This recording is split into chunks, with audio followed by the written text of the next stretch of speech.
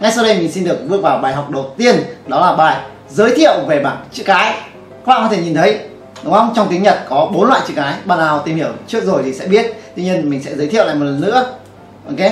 À, các bạn nhìn thấy dòng chữ bên dưới không? À, trong tiếng Nhật có bốn loại chữ cái. Chữ thứ nhất đó là chữ kanji. Các bạn có thể nhìn thấy hai chữ màu đỏ kanji. Tiếp theo đó là chữ hiragana. Hiragana hai loại chữ màu tím đấy các bạn có thể nhìn thấy.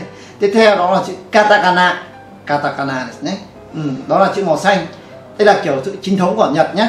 Còn một kiểu chữ không chính thống uh, đó là kiểu chữ Romaji. Người ta gọi là Romaji. À, ngay sau đây thì mình xin được bước vào phần giải thích ý nghĩa của bốn loại chữ này. Ok? Thứ nhất chữ kanji. Chữ kanji thì có nguồn gốc từ Trung Quốc. À, sau này các bạn học xong tiếng Nhật lên cao rồi thì các bạn phải đọc sách báo của Nhật đúng không? Và trong sách báo của Nhật thì hầu hết 70% người ta sử dụng chữ kanji và vì thế chúng ta sẽ phải học. Tuy nhiên uh, học kanji sẽ uh, hơi khó một chút. Vì thế chúng ta để học sau. Tạm thời chúng ta học chữ tiếp theo đó là chữ hiragana. Chúng ta học bảng hiragana để làm gì? Để đọc được chữ kanji ok? Đọc chữ muốn đọc được chữ kanji thì chúng ta phải học chữ hiragana. Ok tiếp theo chữ thứ ba đó là chữ katakana. Katakana là chữ gì dùng để phiên âm các từ ngoại lai. Ví dụ như là tên các nước hay là tên các địa danh tên các món ăn đúng không? À, hay là tên các đồ vật mà trong tiếng nhật người ta không có. Ví dụ như là tên à, đất nước chẳng hạn america thì người ta viết là america. Hay là địa danh hà nội thì vẫn phải dùng chữ katakana này.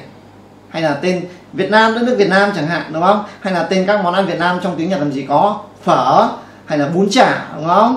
Vậy thì trong tiếng nhật không có vì thế chúng ta phải dùng chữ katakana vậy thì chúng ta sẽ học hai loại chữ hiragana và katakana trước còn chữ romaji dùng để làm gì? Chữ romaji à đơn giản thôi dùng để cho chúng ta đọc được à, à, tiếng nhật. Nếu mà chúng ta không học hai bảng chữ cái hira à, học nếu mà chúng ta không học à, ba loại chữ chính thống của nhật đó là chữ kanji hiragana và katakana. Nói tóm lại là nó giống như kiểu là người mù ạ. Người mù không biết chữ ấy, mù tiếng nhật không biết chữ thì chúng ta sẽ dùng chữ romaji dùng để đọc.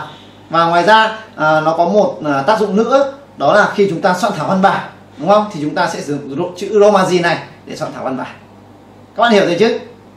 Đây ngay sau đây mình sẽ uh, cho các bạn xem uh, bảng chữ hiragana mà chúng ta phải học. Các bạn nhớ nhé học hai loại chữ hiragana và katakana. Ok? Uh, hai loại chữ này thì âm phát âm của nó giống nhau. Được chưa nhỉ? Và đây là bảng chữ hiragana. Các bạn nhìn xem. Ừ. có vẻ hơi loằng ngoằng một chút đúng không? Tuy nhiên nó cũng không khó đâu. Chúng ta luyện tập. Có những cái người giỏi người ta chỉ luyện tập trong vòng vài tiếng đồng hồ là thuộc được hết. Còn có những người dốt thì cũng khoảng một tuần. Mà chúng ta là người bình thường thì chúng ta cố gắng học trong một hai ngày là hết được. Ờ, uh, bảng chữ cái này nhá. Có lên nhá. Và cách đọc của nó ra sao? Nó có các hàng như thế này. Người ta có người ta gọi là các hàng. Các bạn nhìn từ trên xuống dưới nhé hàng a. À, người ta hay sử dụng chữ cái đầu tiên để người ta gọi tên hàng nhé hàng a này. Xong đến hàng k hàng xạ hàng tạ hàng nạ hàng hạ mạ dạ là các để ý nhá. Và cách phát âm của nó như sau. Các bạn nhìn xem mình ghi tiếng việt ra rồi rất là dễ đọc đúng không? À, cứ phát âm theo mình như này tiếng nhật nó hơi nặng một chút. Thế là đấy vì vậy nó tương đương với dấu huyền hay là dấu nặng trong tiếng việt nam.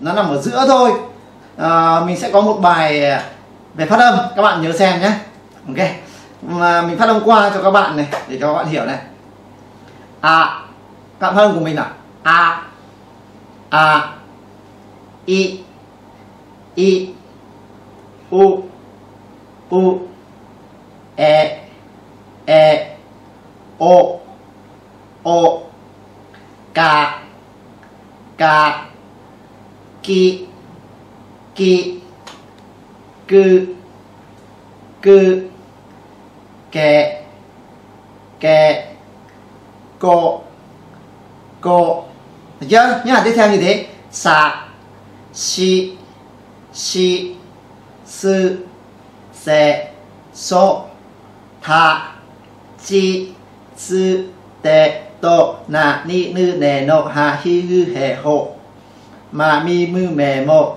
ya yu yo ra đi rư đề độ và ô ưng có một vài chữ nữa à, mình sẽ giới thiệu sau. À, và tạm thời bây giờ chúng ta phải học bằng chữ cái này. À, chẳng hạn như chúng ta đã học xong bằng chữ cái này rồi đúng không? Chúng ta ghép từng chữ từng chữ vào là chúng ta sẽ được một từ mới. Ví dụ như thế này chúng ta sẽ học chữ a chữ tiền đúng không? Xong rồi chúng ta học đến chữ si. Ok? Và chúng ta ghép vào đọc si asi asi là chân người là đôi chân. Asi dễ không? Tiếp theo chúng ta học chữ cà và chữ kỵ. Đọc là kỵ, cà kỵ. Là quả hồng. Rất là đơn giản. Đấy tiếng nhật có gì khó đâu. Đúng không? Vậy thì các bạn sẽ cố gắng học hết bảng chữ hiragana này nhé. Và chúng ta cần phải học thêm bảng chữ katakana. Katakana vừa nãy mình đã giải thích rồi. Nó là dùng để làm gì nhỉ? Đúng rồi, dùng để phiên âm các từ ngoại lai mà trong tiếng nhật không có. Ngay từ đầu tiên, nếu mà chúng ta muốn đặt một câu rằng, anh ấy là người mỹ đúng không? Vậy thì trong này có chữ người mỹ rồi, người mỹ là tên ngoại lai rồi, đúng không? Chúng ta phải học chữ america, đúng không? Vì muốn viết được chữ america này, chúng ta cần phải viết chữ ờ, hiragana này, ok? Hay là trong tiếng nhật là quả chuối chẳng hạn, người ta sử dụng chữ katakana chẳng hạn, đúng không? Thì chúng ta vẫn phải học chữ katakana này, banana đúng không? Viết katakana banana. Ừ, dùng chữ katakana ý nghĩa của nó là như vậy.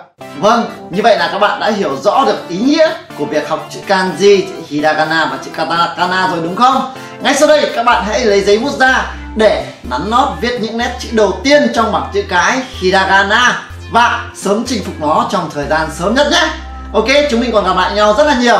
Bye bye các bạn. Hẹn gặp lại.